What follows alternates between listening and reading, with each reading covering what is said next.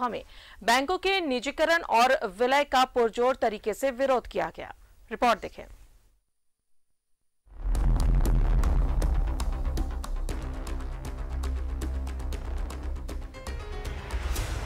2016 से बैंकों का विलय शुरू हुआ था। आखिरी विलय की प्रक्रिया 31 अगस्त 2019 को हुई थी।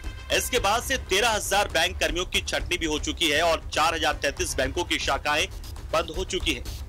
केंद्र सरकार के इस निर्णय के विरोध में बैंक यूनियन सभी सांसदों, नेताओं से मिल रहा है। बैंक बचाओ, देश बचाओ आंदोलन के साथ ही भारत व्यापी आंदोलन भी चलाया जा रहा है।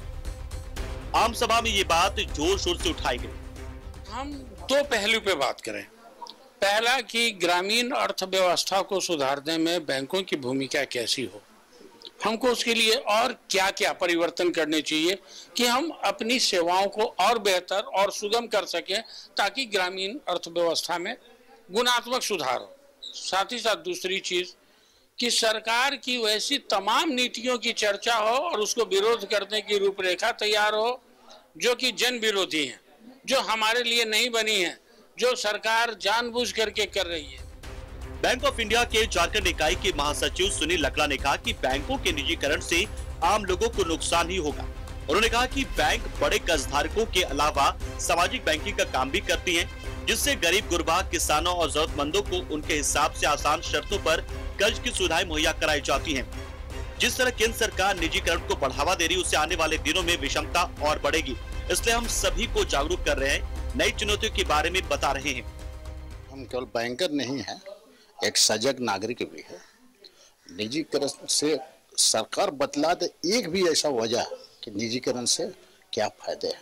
हम लोग निजीकरण का गला फाड़ फाड़ कर हमेशा बोलते हैं कि निजीकरण से ऐसा नुकसान है, वैसा नुकसान। सरकार एक फ़ायदा तो बता दे निजीकरण से क्या फ़ायदा है।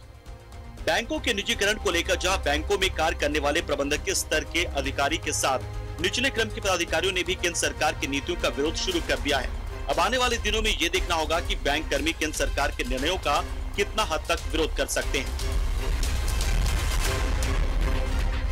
न्यूज़ इलेवन भारत के लिए रांची से कैमरा पर्सन मंटू के साथ रानी गुप्ता की रिपोर्ट।